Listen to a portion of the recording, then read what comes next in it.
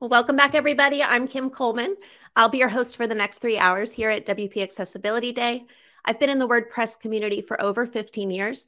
And when I'm not supporting community events like this, I'm working on my membership plugin, Paid Memberships Pro. I'm excited to announce our next session, accessibility testing in the CI slash CD process with Maciek Palmowski. Maciek spends his days at Kinsta as a development advocate analyst after hours, he spends most of his time trying to find interesting news for the WP Owls newsletter or cycling. Please feel free to add your questions in the Q&A tab in the chat area and we'll answer them at the end of this session. You can also use the ideas section to chat with other attendees. So that's it for me. We'll welcome Maciek to the stream.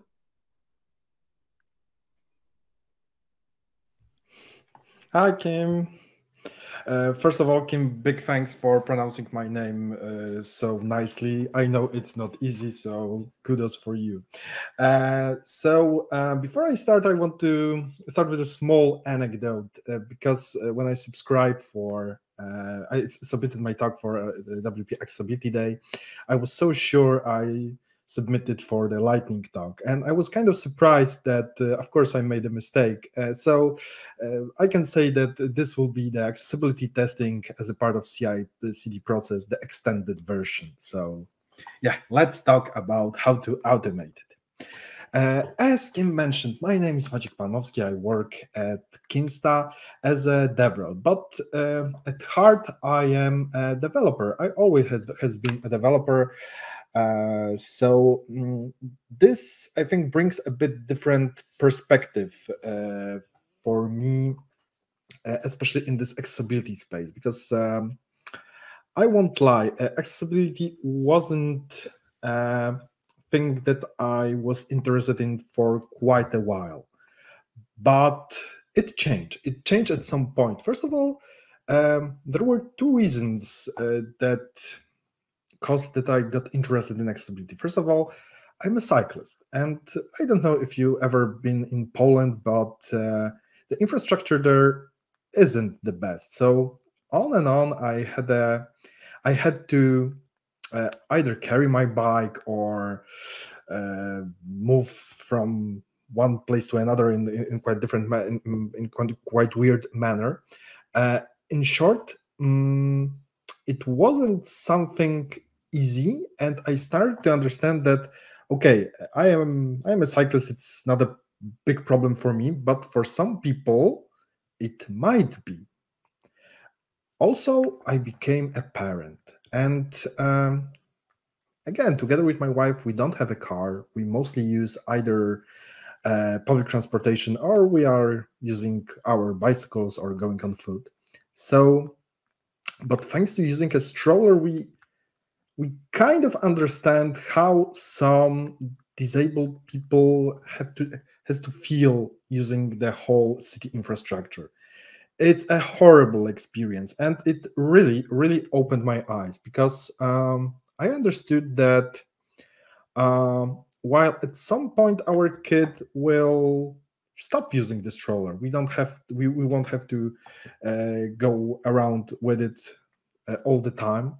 But we never know what will happen tomorrow. Maybe some of us will will, will, will get into an accident or something and uh, will be disabled for the rest of our lives and we will have to um, live in this infrastructure and this, this this was really a true eye-opener for me that it's really worth investing in accessibility uh, because you never know what tomorrow will be. So, uh, so, so, so, so this was uh, this were the reason why I got interested in the topic.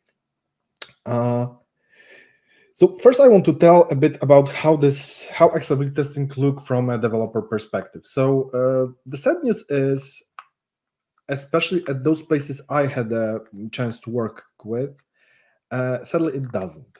Uh, it's uh, yeah just just like that because um, for more most agencies uh, accessibility is a separate task that is in most cases left on the on the end of uh, of, of, of, the whole process uh, also in many companies still don't fully understand who should be responsible for it, who should take care of it. For some reason, I saw that many companies like to push it only on developers, and they still don't understand this very important argument that uh, accessibility is provided by everyone in the team.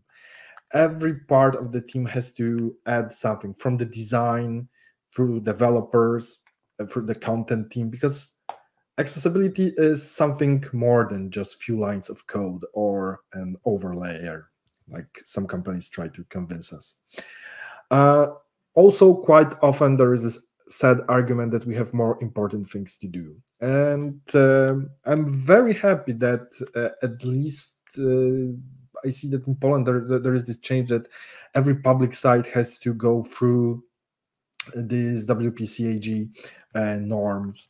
Uh, and uh, this was the first time when all that where many companies start understanding that accessibility is a must because without it they won't get the money. So while this is a bit forcing uh, those agency to get interested in accessibility it works. So it's good.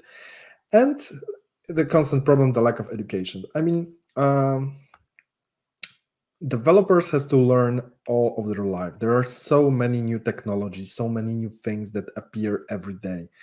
And um, i can understand why some of them just don't have the resources the time to continue education in another field. Um, but again that's why everyone in the team should take care of accessibility. Thanks to this uh, like a hive uh, such an agency or company should learn accessibility just step by step. Or is i mean from my perspective i see that sometimes it's enough to understand the problem just not to pretend that it doesn't exist just to try to know that it's there and it will already be easier to to, to continue with, uh, with, with your own education. So uh, I mentioned this weird term in the title, CI/CD. What does it mean? CI/CD is nothing else than continuous integration slash continuous deployment or development. And uh, it's not a tool; it's a methodology of how we work. And uh, while it can be a bit complicated uh, at some point, the whole idea behind this is very simple. It's all about constant testing. So every time we um, create a change in our code base, we are running all the tests that we have. A typical developer would say, okay, so we will be running unit tests, functional tests, end-to-end tests from different sides, from PHP, from JavaScript. But hmm, why not to add one more test to the equation? Maybe let's add accessibility as one of them because, well, a test is a test, so there, there, there is no difference. And of course, it's also responsible for the build and deploy process. And it's also very important that without passing the test, we never will deploy our application or, or website to production, which would mean that if we would add accessibility testing as a part of this CI/CD, um, as, as part of CI/CD, mm, if we will encounter uh, an error from the accessibility point of view, we won't push it to production because it's an error and we shouldn't push uh, pages with bugs, right? Uh, what are the problems? First of all, no one is using it. At my previous company, because uh, before Kinsta, I worked at Buddy, which develops a CI/CD platform, and I was responsible for our uh, for, for for trying to get uh, people from the WordPress space a bit more popular about uh, deployment automation, and I learned that it's not so popular especially that WordPress is pushing more and more towards this no code, low code approach. Although the big companies, the big agencies uh, are using CI/CD, so uh, yeah, it's here. It's here. Just it's not as popular as it should be. Uh, also, many agencies and companies will say that we have more important things to do, which is kind of a weird argument because um, I would make it we have more important things to do than waste our time on repeating manual actions. But it's their choice, their money. And the uh, last very popular argument we don't have time which results to we don't have time to automate our tests, but we will have a lot of time to fix everything on production. Their choice. And how we can add accessibility testing to a pipeline is very simple. Um, thanks to CLI tools like axe CLI, P-Accessibility, or Google Lighthouse, uh, we can test our website just with just by installing it and passing few arguments, mostly the URL of the website we want to test and some configuration file. That's it. It's that simple. Uh, and this is how a pipeline can look like, a true enormous pipeline. You see, we are running all the tests. We are running PHPStan, PHP unit, integration test, deploying to staging server. Then we are running the axe CLI. Then we are running some other tests. And what's important, if any of those tests uh, at some point fails, we will never reach the last step. So transfer files to production. So if there is an error somewhere, it will never reach the production. It's very important. And this is an example how uh, how an uh, axe can return uh, uh, error if, if, if it will find one. For I was testing the dequeuniversity.com, and uh, we can see that there was a violation of duplicate ID active with one occurrences. That's it. We we have a we have a bug. We know where where to find it, and we know that the action failed. So if we would be developing the site it wouldn't ever reach the, the production until we would fix it. And this is on what we are doing. So, what are the biggest pros of automating uh, accessibility testing? First of all, if and the problem is I cannot find this tweet, but I remember that the Deque, so the company behind axe, uh, responded uh, on, on Twitter to me.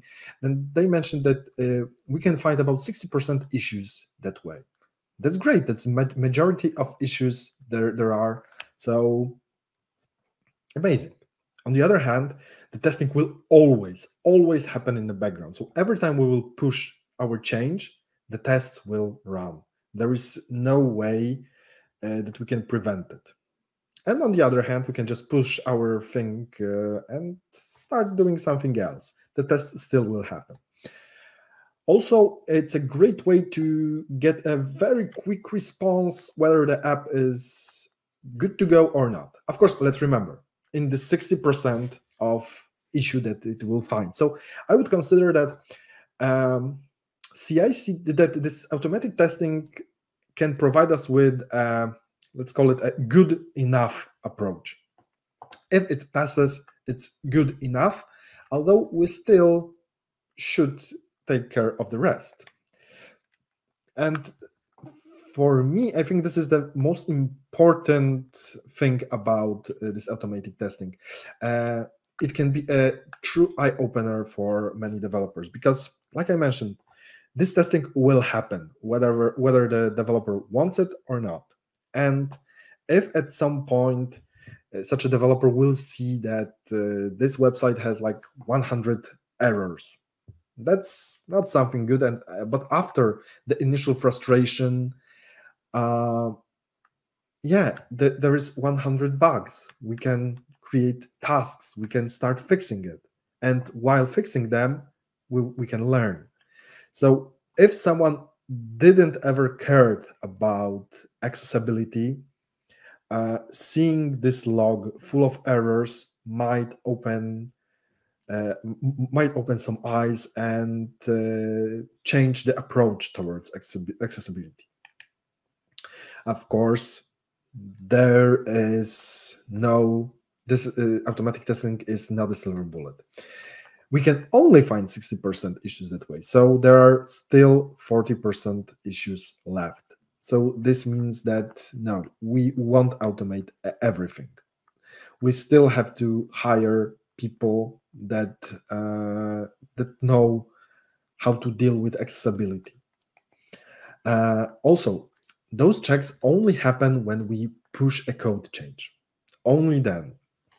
And uh, so, if we are developing something, uh, we are kind of developing it in the dark. That's why it's also important to, to use other tools. I will mention them in, in, in a moment. Uh, it's also important to explain why we added uh, those tests because uh, I mentioned there is a huge possibility that if you will run it for the first time, your website might not be too accessible, especially if you never uh, never set a priority on it. And when you get a return of 100 potential errors to fix, you might get a bit frustrated. You might get mad. And this is this is why it's important to to tell why we are doing it, why accessibility is important. And uh, but yeah, this is the role of, uh, of, of, of the agency of the company. That's it. But like I mentioned, there are also browser tools, and probably most of you are using them. Just a quick example of how axe works. Probably most of you uh, use it every day, but just to make sure, we are just testing the WordPress.org website, and after a few seconds after pressing uh, the button to scan our uh, our site, uh, we will get the list of all the issues uh, we see their their descriptions, where they are located, what to do to solve them. Beautiful. So, what is the difference between the, those browser browser uh, tools versus CI/CD? Uh, first of all, browser tools are much faster to work with because, like I mentioned, with CI/CD tools, we have to uh, push a code change to our Git repository, and then it will run in the background, and then we will get the response.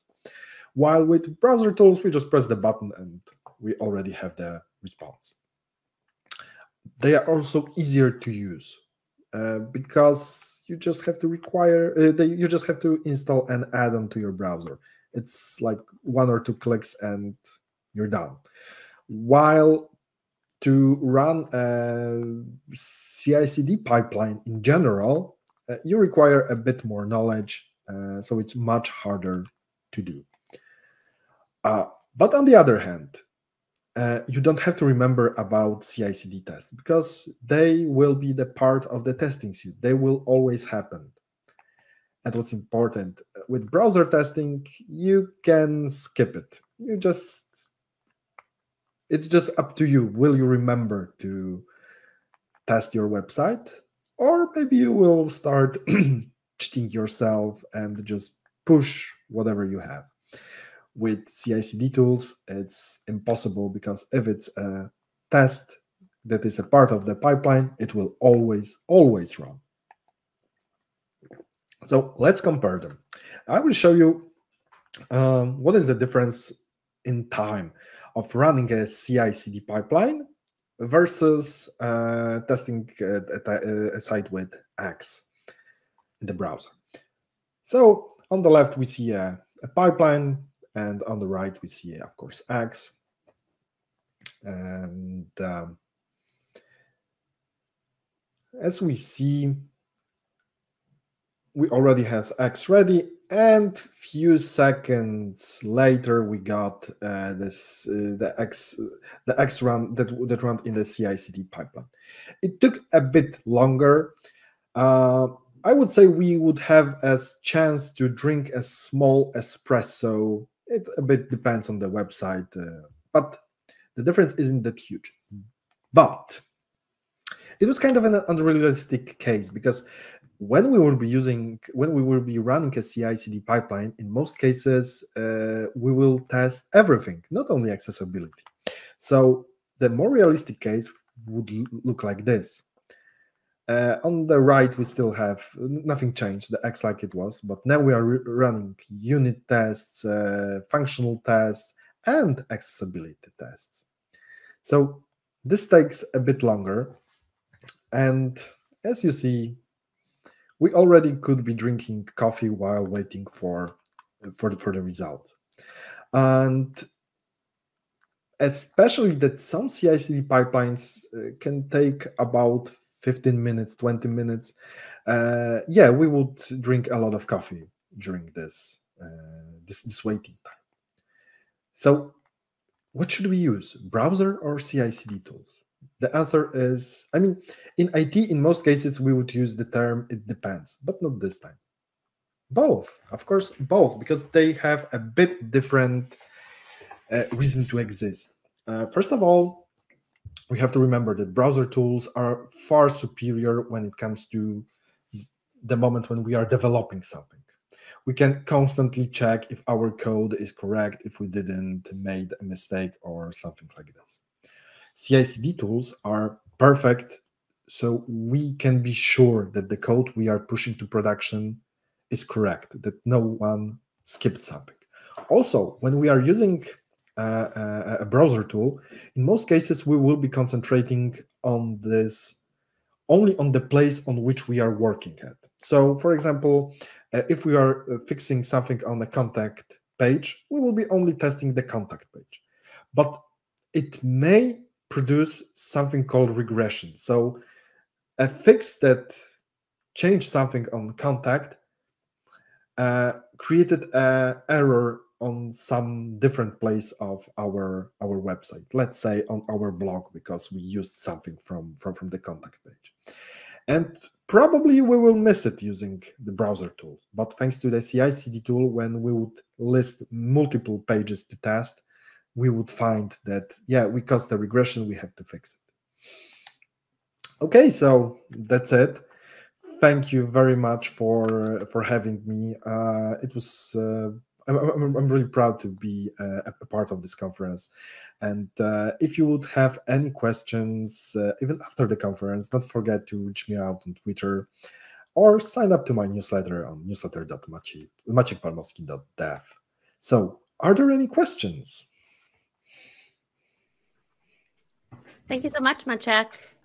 Um, if you're watching live, you can use the Q&A section to the right of the video stream to ask your questions. Um, I have some of my own, so until I see some coming into the private chat, is that okay if I just pick your brain here? of course, I'm. That's why I'm here. awesome. So for me, I've seen when we have testing like this, it's kind of training our developers to, you know, see those issues and then maybe learn and write better code from the start. So could you speak to how that, how you've seen that happen in yourself or other developers that you've worked with, um, having CI/CD part of the development process? Uh, yes, this is exactly what because let me say this like this: developers are lazy. I know this from experience because that's why I got into automate into this whole automation pro uh, process because uh, I wanted to save my time, and there are machines that can do things for me, and the same happens here. And at some because we are lazy, we don't like to fix the same errors over and over and over. That's why we will learn how to the, those basics of accessibility. In most cases, um, not because we want to learn accessibility, but because we don't want to see this error anymore.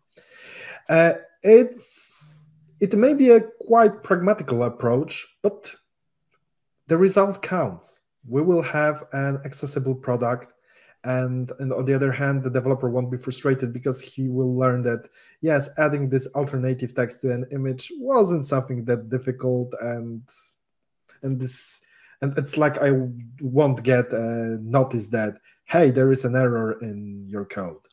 It was that easy. So so so yeah it's um i really see that uh, apart from uh, just checking if our application is okay. It's also about the learning, about this eye opening. So, and it works. Oh, that's really good.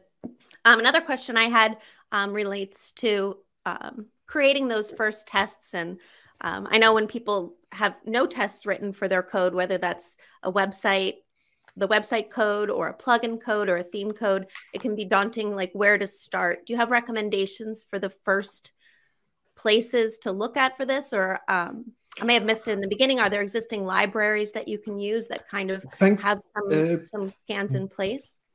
Most in, in most cases, and this is also the great part about, uh, for example, using the axe CLI, you don't have to write any test because it mostly scans your website. Of course, you can at some point start adding your own test, and this is great.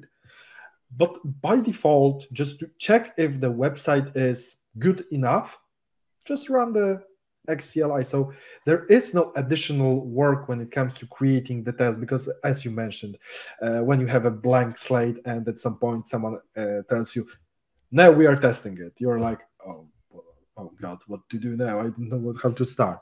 But uh, this is one of those tools when uh, the only problem that you will have is, uh, in the worst case, okay, we have 100 errors. What to do now?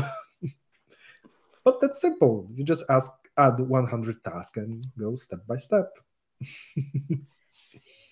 Do you have recommendations for um, when you run these scans and the code is kind of outside of your control? If it's in a plugin, if it's in a theme, how have you found it successful to work with those authors? You know, these are open source products um, often, you would hope. So, how have you found success kind of pushing back or requesting the changes that are outside of the website's code itself?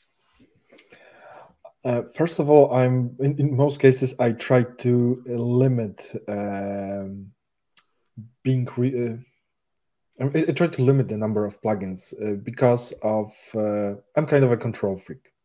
I always feel better when I am in, in, in full control because uh, there are many cases, and this is one one one of those when it can be annoying that, um, for example, you are finishing this public website and the only problem is not you it's the plugin. And uh, of course uh, in most cases uh, from at least from what, what i remember i was always able uh, to fix everything at least on the front end the backend is always uh, a, a, bit different uh, part of the of, the of, the equation and i still think that um, when we talk about accessibility, uh, at least here now in Poland, we only see the front end right now. So we still need some some time to to get uh, about the backend, but but still, uh, it is possible. It, it, I mean, it's it's also one of the uh, things that differences a good a good company from uh, a good plugin company from a bad one. If they will just say no we won't fix it. It's impossible. It's just accessibility it's just a sign that okay it's a bad plugin. Sorry. I don't want to use you. Yeah people should be open to hear that feedback and make those changes. Um, i'm sure they aren't often major changes. It's adding simple things to where images are rendered like you said to um, form elements and and fixing certain things so hopefully it's not 100 for the developer but you know um, exactly, exactly. Yes, I mean, this is the thing about accessibility uh, is we have to remember uh, that it's a process. It's a process. It's, it's it's it's it's not a task that we will finish. I mean, I lately see that there are many things, uh, especially in, in the web development, that are a process. We are talking about performance that is constantly changing. We are talking about the general experience, which is also changing. And the part of this experience is, again, accessibility, which is also a process because everything changes. Everything changes. We have access to new hardware. We learn things about uh, something that we never knew before. And so we have to constantly adapt. And this is something really, I mean, this is really fascinating. This is really fascinating because uh, it never will will get boring. Also, the fact of this uh, that I mentioned, uh, sixty percent of issues can be solved in an automatic way. I remember that in some documentation from a few years ago, we could read about 20, 30 percent. So this is growing, and I also can't wait what will start happening at the moment when we'll start using AI for accessibility testing. because there are many problems with accessibility that aren't code related. They're about logic, uh, about how we written the text, and this is something we at the moment without any AI can't check because those are just words. But thanks to AI, they are starting to have uh, to have a uh, to have meaning. You mentioned AI. Do you use um, GitHub Copilot and anything? I, I haven't used it, but I don't know if it's helpful for I'm, I'm, um, somebody I'm still things. You're afraid. I'm kind of afraid, and I'm. I I will also be honest. I'm not fully. Uh, I don't fully trust all those big corporations, especially that I know that there is a lawsuit. Uh, they are planning a lawsuit against Copilot about is the open source code uh, used in a way that it should be used. So there are many things. I mean uh, AI also changed so many things about how we, especially for open source, because we shared our code and now why someone is using it, why someone is earning money without mentioning us. Many inter interesting things. Oh, for sure, for sure. I think our moderator had a few questions, so we'll see if if they come into the private chat here. Um, I'm looking back at my notes.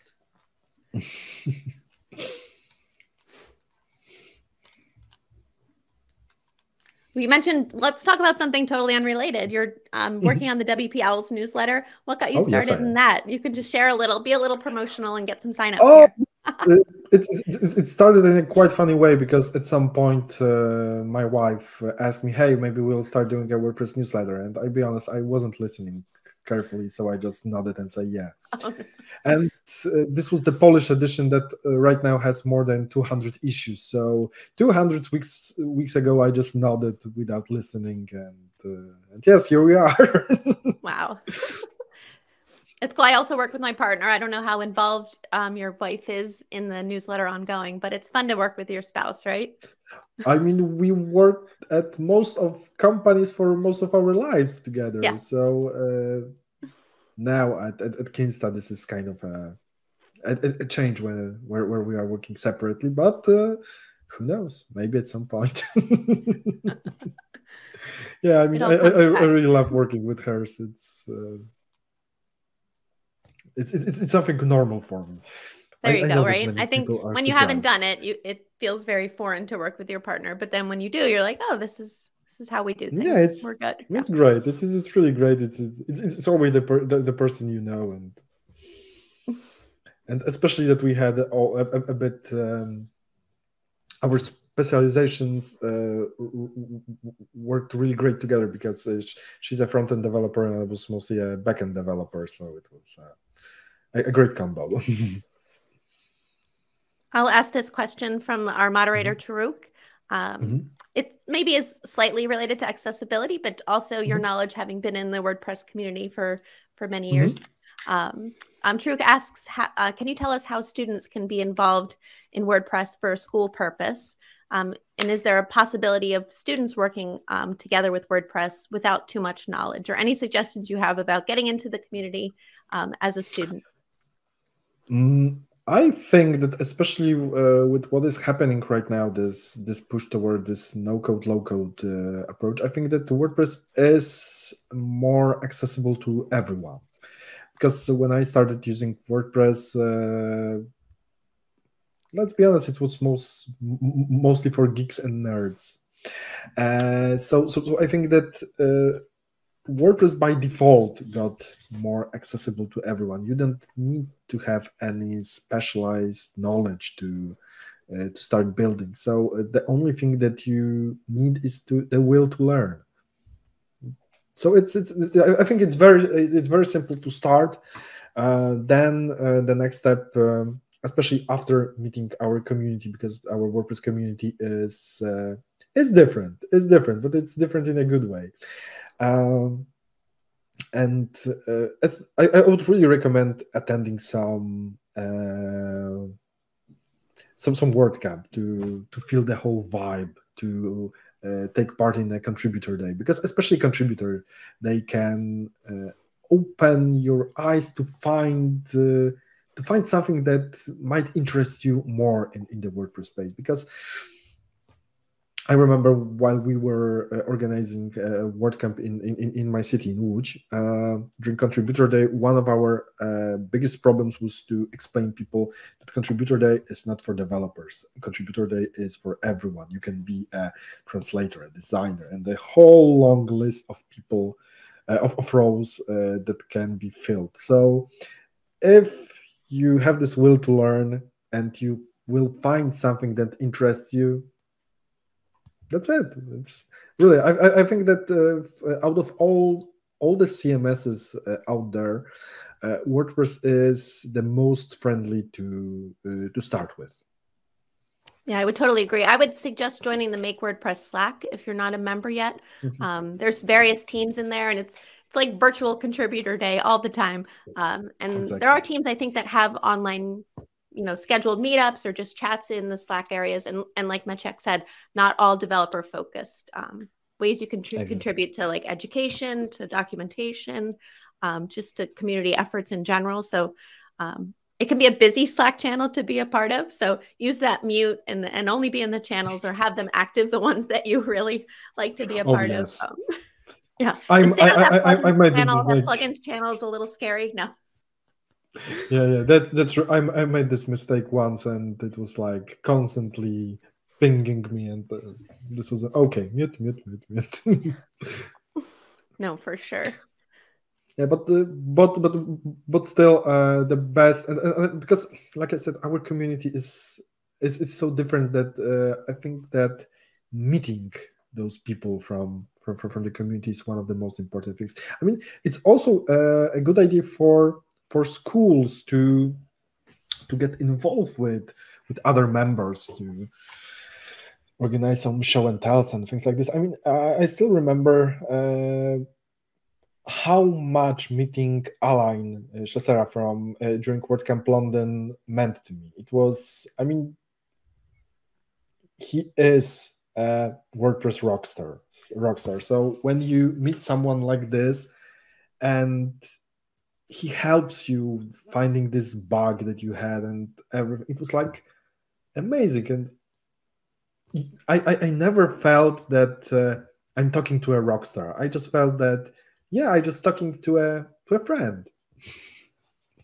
yeah, there's definitely the you know, time, through the pandemic, there were people I would reach out to on a Twitter or in the Make Slack and just ask for 15 minutes of their time, and I always found people really friendly and receptive and um, yeah, there's still a pretty active meetup community also with virtual meetups. So I guess that's mm-hmm. a way to kind of meet some people and get to know things. But I think the return of in person WordCamps on a broader scale will really help younger people in this community because you've you've been, you know, two years without that face to face, without you know feeling that energy that we all got to feel for all those years leading up to the pandemic. So um, yeah, I, I think it's probably I, I been a hard couple years. Europe WordCamp Europe was one big hug fest. That's it. we were just constantly, everyone was hugging each other, and our uh, producer here said that WordCamp EU was amazing. So oh, yeah, was, more votes was, for that, yeah. and I'm sure there'll be more I, to come. I really missed it. Will really you be going to WordCamp it. Asia? No, sadly, sadly not. At least not this this this year. But who knows? I, I really hope to uh, to visit all those flagship WordCamps at at some point because uh, yeah. why not? Why not? no, for sure. Oh, and I see one more question. Can you tell us a little more? How can um, one protect their database from your experience? Um, I mean, just the regular things, having a, a good hosting because it's important, having uh, using updated versions of MySQL, MariaDB, not using weak codes. I mean, in general, it's simple. It's I, I, I sometimes feel that uh, it's kind of scary when we think about security uh, because security is quite simple. It consists of many, many simple things, but the amount of them sometimes make causes that we make an error we forgot about something and it can cause to a bigger tragedy yeah I, would agree with that and you know strong passwords for your own wordpress account um, strong passwords you know and most good hosts are going to give you a strong password for if you do have access to log into the hosting environment and to, exactly. to your hosting account directly um, for sure. And take backups. You know, the best your best friend is your backups for sure. Exactly. Yeah, yeah. and take them and how, put how, them in places other than your web host environment. So have backups for your backups and and put them everywhere. And what's important, test your backups. Oh right. Git. Uh, I remember GitLab uh, once had this problem. They had backups, but they never tested it, and it turns out they didn't have backups. Yeah. Can you restore? That is key. That is a super key. Um, we do have a oh. question from Nobert. Mm-hmm. How much time does it usually take to set up a basic CI CD pipeline from scratch, which includes the accessibility testing without writing the tests? So just mm-hmm. that portion of the pipeline setup. I think that um, if you are not having any experience with it, um, the most basic example that would automate uh, all the build process, deploy, and for example, add this uh, accessibility testing would take, I don't know, totally few hours. That's it. That's because um, it also will. It, it also depends on which which application will you use because some are a bit more difficult to start with. For example, GitLab CI is at least for me it was always very complicated and on the other hand we have those more simple tools like for example Buddy like for example i think it's also deploy hq uh, they have the they, they have a visual interface so it's much much uh, much simpler to to start with. And uh, using those tools like i said it should take because it's at the beginning it's always a bit trial and error. You have to uh, test something. So at first always only play around with staging. Don't risk. And i am saying this as a person who once maybe deleted the whole website because he done a small typo in the folder name and uh, yeah that's why Z, you have Control to have... Z, undo. exactly, exactly. Oh, so, uh, but but in general, mm, overall, I always uh, try to say that when it comes to starting with CI/CD, go step by step, slowly. Start with the continuous delivery deployment part. So first, think only about automating the deployments. That's it. Then start building. If you have some Node modules or you want to compress your JavaScript, or this is another thing. And at the end start adding tests the cool part about accessibility testing it's like i mentioned it's simple. It's just running the cli tool. So you can uh, you can add those no or low configuration tests like accessibility testing like uh, PHPStan. It's also quite easy but for, for for developers and in the end you go with those most difficult where you have to write tests so this whole workflow creating it probably can take even years but it doesn't matter. It's important to just go step by step have some progress because every time you will add this extra step you will save yourself a lot of time.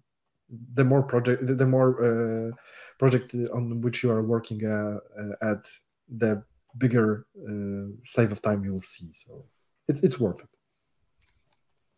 Have you seen in these teams that it's like an individual person's um, role to be the one that addresses the errors that come up with the accessibility testing in the CICD, or how, I guess, depending on team size, it could be the person who does everything, or how have you seen that work? Uh, that's the, the sad part was that in most uh, companies uh, there was none, and there was just this. Sometimes there was this person uh, who knew about accessibility and was arguing with the rest of the team that hey there is something like accessibility let's do it i mean i was constantly arguing with the designers because they never understood why it's also their role uh, to think about accessibility because we are artists. We create art. No, you're not. Websites aren't art. Websites are engineering. It's some. I mean, it can look nice, but still, uh, it's engineering. It's not whatever you want to paint. It's like cars. They may look beautiful, but underneath there is an engine. There is a lot of technology, and that's it. I love the way you referred to that. That's very true. And and there can be these kind of battles within an organization where some people are more of an advocate, like you said, um, for the accessibility route, and and other people are more protective of their art. You know, but we all want to build functional websites that achieve whatever their goal is. Um, if the goal is to just look pretty, that's one thing. But if it has to be usable, it has to be usable by all of us. So that's exactly. a real challenge. Yeah. Yeah, exactly. And, uh, and like I said, uh, I I also think that, uh, and this is again this, this, this problem with the lack of education that um, uh, because I think that still developers are a bit more advanced when it comes to accessibility when the uh, com comparing to design teams. At least in, in, in my cases, uh, I, I, I hope that I'm mistaken, but um, because it's like this that for some reason many think that these uh, that developers are are the people responsible for fixing the website to pass the accessibility. It even sounds horrible because it's we are not taking care of accessibility. We are taking care of fixing things to make it make it pass. So it's it's it's, it's a horrible approach, and and the truth the truth is that I really think that the design team has the biggest impact because it's their vision, and. Uh, it's not only about the contrast it's not only about the colors it's about the general idea. So for example if we are thinking about using i don't know uh, rich videos and and everything okay let's do it but also think what about accessibility? How we will provide the same content to people who just won't experience the videos. So and this is not about painting the website it's about the general idea that stands behind it. So, uh, so, so, so I think that the designers really don't have uh, don't, don't don't fully understand how enormous impact they have on on, on, on the website's accessibility. Um, Taruk asks, you know, what are the challenges people, what are the highest challenges people face at the beginning? So some of these tests, um, you mentioned the, the alt text on the image is just the number. It can feel overwhelming. Yes, because uh, if you developed a website and never never thought about accessibility, and at some point you will run the test, and uh, I mean, quite quickly when you after the first frustration phase and anger phase, because they, they, they, they, they will be there, they will be present. Uh, you will start just seeing that okay lack of uh, alternative text for images. So you started fixing it, and 100 turns into 50. Okay, and now another simple fix. And in the end, it will turn out there are just few more difficult uh, fixes to to well to fix. That's awesome. I think I'm to wrap it up now. I thank you so much for being with us. Are there any closing remarks that you have? I think all, all of your education. Oh, they took them away. Never mind. Sorry, Maciek. Um, cool. Well, thank you for attending this session with this session with Maciek Palmowski. Uh, you can continue the conversation in the chat or on social media using our hashtags WPA11Y Day or WPAD2022. Uh, we appreciate if you would go to WPAccessibility.day forward slash feedback to provide your anonymous feedback for our speakers on their presentations. Um, you can also enter to win a t shirt when you're there submitting your feedback. Um, the next session is on designing a web page for the Institute for the Blind and Visually Impaired um, with Ole Goldberg and Anna Ingborg Lynette at 10 a.m. UTC. While you're waiting, you can visit our sponsors page to grab some virtual swag uh, and enter for a chance to win some great prizes. So um, we're going to reset the chat um, and then there'll be new chat available to you uh, for the next session. So I'll see you right here after the break.